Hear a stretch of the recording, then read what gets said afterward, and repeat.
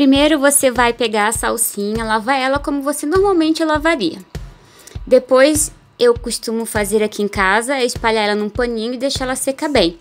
Quando ela estiver bem sequinha, eu vou pegar ela, vou fazer um bolinho, uma, assim, enrolar ela na mão mesmo e vou começar a cortar com a tesoura dentro já da vasilhinha.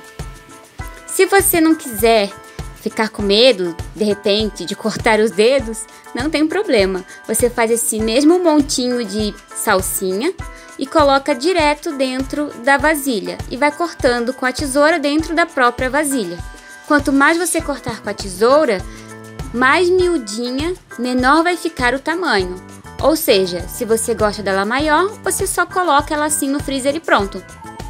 Se você quiser pedaços pequenininhos, você corta com a tesoura.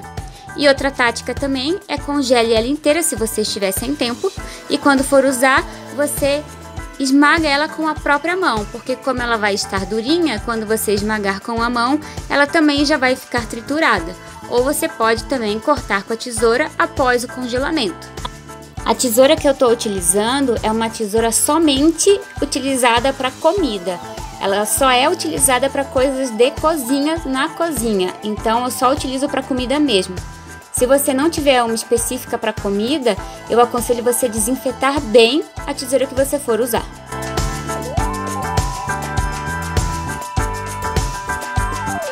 Ó, gente, ficou assim. Se você não quiser ter trabalho, congela a folhinha inteira, vem com a tesoura e corta. Não dá para apertar ela direto com a mão, porque ela não vai ficar completamente miúda. Se você quiser só apertar com a mão, congela dentro de um saquinho desses saquinhos de comida, a folha inteira. Quando ela estiver congelada, você vai apertar o saquinho, direto no saquinho, não a folha. Posso ensinar uma outra vez para vocês, agora eu não tenho salsinha para mostrar. Mas fica assim. Toda vez que eu uso tem gostinho de fresca. Se você não puder ter um vasinho em casa e nem tá toda hora no supermercado, é uma boa dica. Curtiu? Então deixa teu joinha aqui pra mim e a gente se vê no próximo vídeo. Tchau!